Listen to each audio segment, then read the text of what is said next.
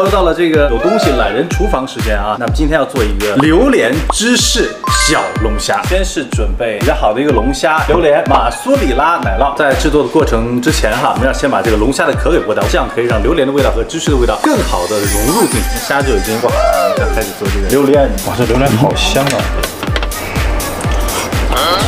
好，我们把这个榴莲放到我们的这个搅拌机里，然后加奶没过这个榴莲就可以了，搅拌彻底打碎。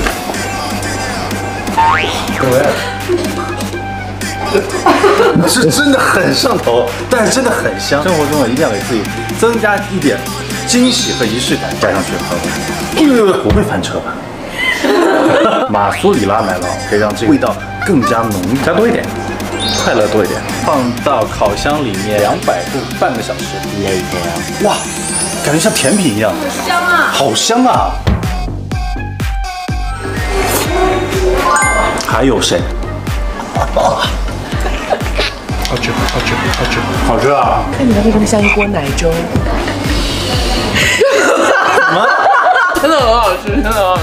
不知道大家学会了没有？如果你自己还有别的什么创意啊，来我们的有东西懒人厨房交作业，艾特我。